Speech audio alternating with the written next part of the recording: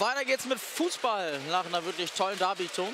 Freuen wir uns jetzt aber, dass das runde Leder wieder rollt. Wir gehen in die letzten acht Spiele des Tages. Schalke 04 gegen die Mühlenkreisauswahl.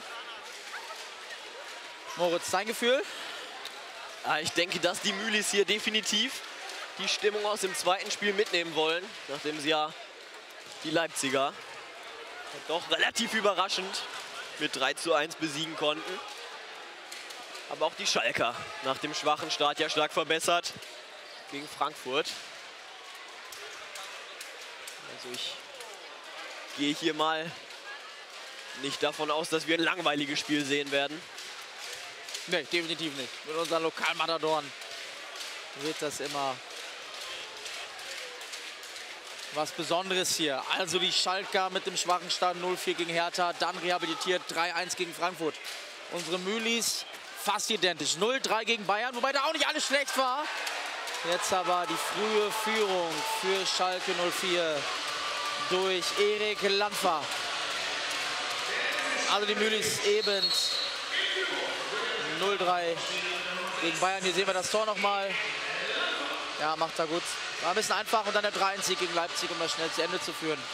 Also Rückstand, Moritz, das Stimmung mitnehmen hat nicht ganz geklappt.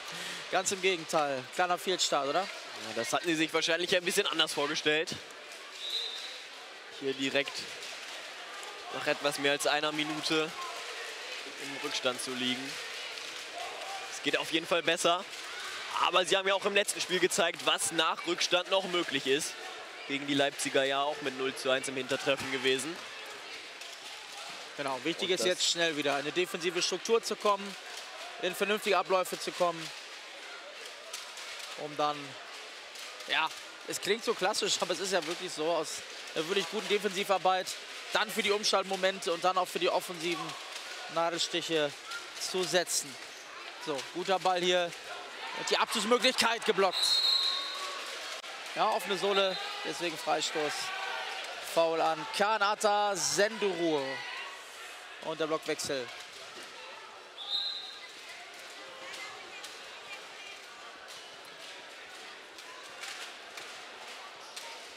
Gute Freistoßmöglichkeit. Jetzt für die Mühlis da. Knapp an der Strafraumkante. Sieht mir auch nach einem Abschluss aus. Schiedsrichter Christian Obring zeigt jetzt an, erst auf meinen Pfiff, Abschluss, aber geblockt. Niklas Hille bringt den Ball nochmal in Richtung der Offensive, prallt allerdings gegen den Vorhang und deshalb gibt es den Freistoß für den FC Schalke 04 von der Bande da.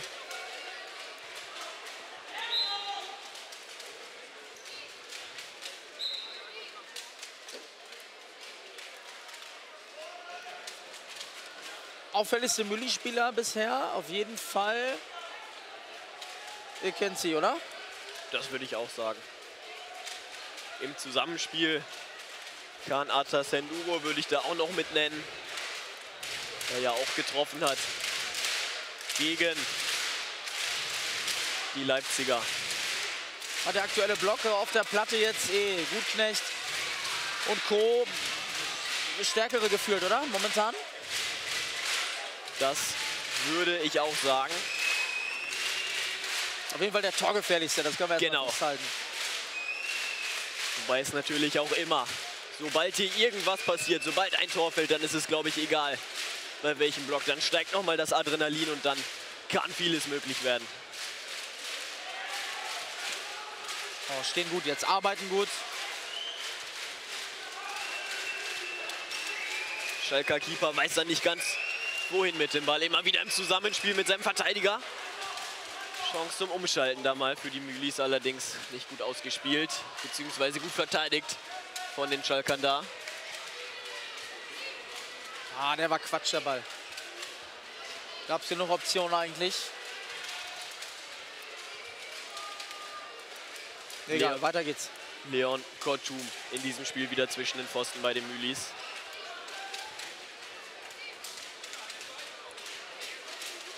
Wechseln sich hier also ab am heutigen Tag. Das für die Schalker. Abgeblockt erstmal, zweite Möglichkeit. Aber das machen die Mühlis jetzt gut. sind dran. Verhindern da die freien Abschlüsse. Genau. Zugriff ist wieder da, ne? Schalke kann nicht frei spielen, kann nicht frei abschließen, ist immer, immer wieder ein Störfaktor da. So, Schalke wechselt.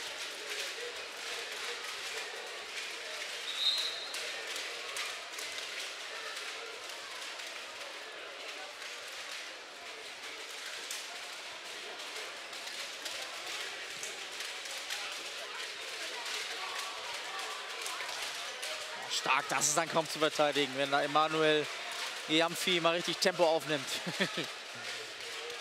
Aber nichts passiert.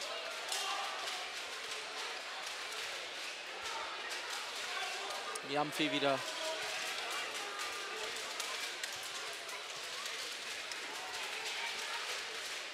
So, Schalke auch mit drei Offensiven vorne. Keeper und letzter Spieler bauen das Ganze auf.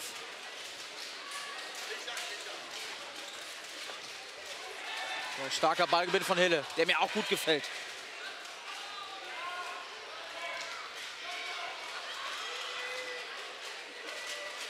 Moritz im Vergleich zum Bayern-Spiel ganz andere Körpersprache, oder? Ganz Definitiv. andere Zweikampfquote. Haben wirklich den Respekt abgelegt, oder?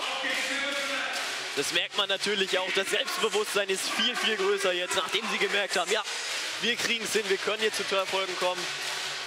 Merkt man natürlich allen sofort an. Da ist die Stimmung im Team viel besser, die Köpfe gehen hoch.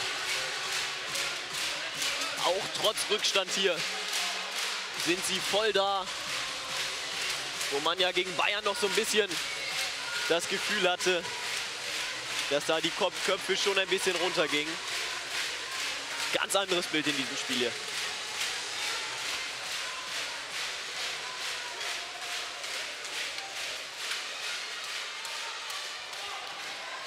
Der Block jetzt aber auch gefühlt schon sehr lange drauf, ne? Gab noch nicht so richtig die Wechselmöglichkeit.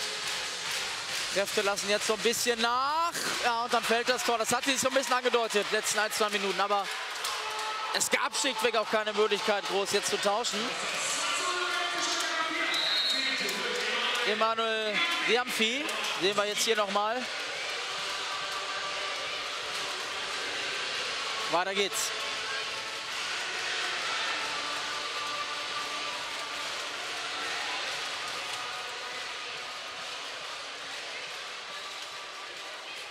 Gerüchten zufolge hat ja Willi Landgraf unsere Schimpftirade aus dem ersten Spiel der Mannschaft vorgespielt und sie so bei der Ehre gepackt. so. Hat scheinbar geholfen. Ja, ist schon komisch, wenn man die Auftritte der Schalker in den letzten beiden Spielen mit dem aus dem ersten vergleicht. Wie ausgewechselt. Er hat noch die Busfahrt in den Knochen. Ich könnte mir vorstellen, dass die Schalker erst heute angereist sind. Ein bisschen Akklimatisierungszeit. Genau. In Ostwestfalen hier.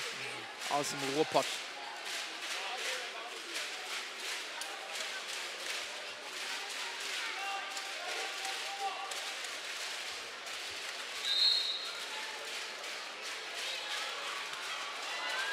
Diese Ballverluste, die können tödlich werden. Stark pariert. Kortum ist zur Stelle. Das sollten sie sich nicht häufiger erlauben, diese schlampigen Ballverluste da. In der Vorwärtsbewegung, die werden denn, denn im Normalfall gegen solche Gegner eben bestraft.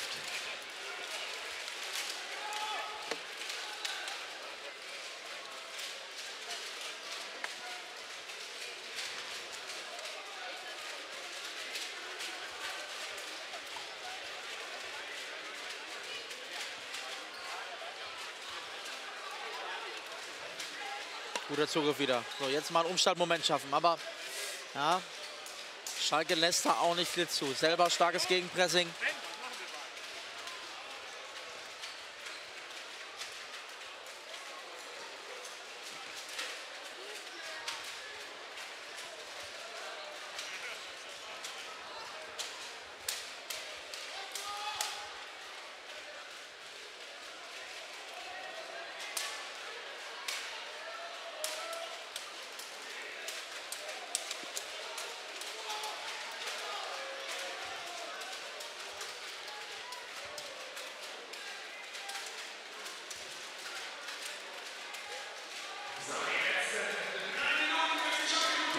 Drei Minuten noch auf der Uhr.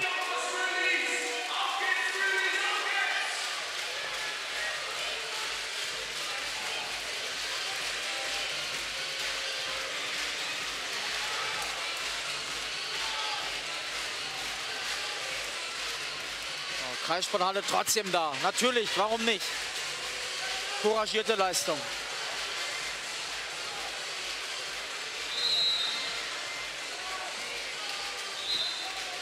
So, nochmal.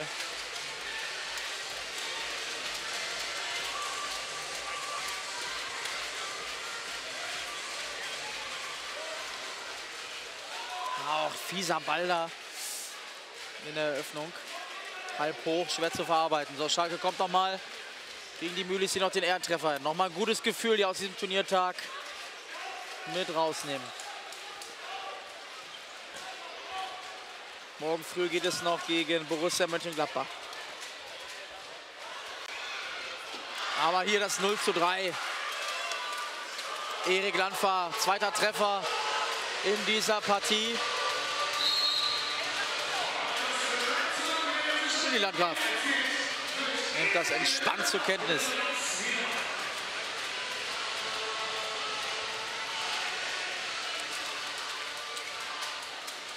Also langer Tag auch. Hier sehen wir den Treffer nochmal.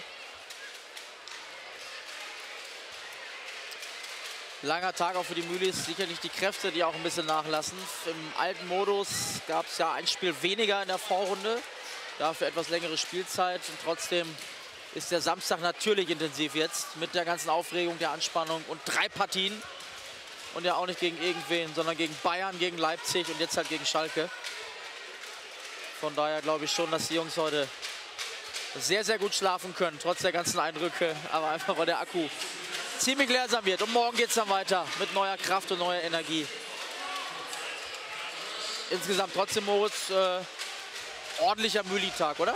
Ja, sie dürfen jetzt auf jeden Fall nicht den Fehler begehen und die Köpfe irgendwie eng lassen. Sie haben gegen Leipzig gemerkt, hier geht ordentlich was. Vor allen Dingen, wenn die Halle dann auch noch kommt, wenn die Erfolge kommen, wenn Torabschlüsse kommen, dann wird das natürlich von der Stimmung in der nochmal ganz, ganz anders. Dann wird das Ganze hier schon zu einem echten Hexenkessel. Und dann kann hier auch noch mit ein bisschen Glück viel drin sein.